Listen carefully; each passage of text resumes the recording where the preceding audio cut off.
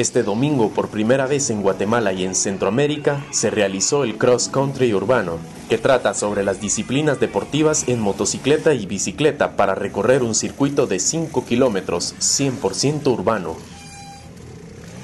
El show que organizó la Comuna Capitalina, la Asociación de Ciclomontañismo de Guatemala y el Club Enduro de Guatemala reunió a pilotos de diferentes edades expertos en esa disciplina. El objetivo del evento fue convertir un espacio público en puntos de convergencia ciudadana y brindar entretenimiento sano.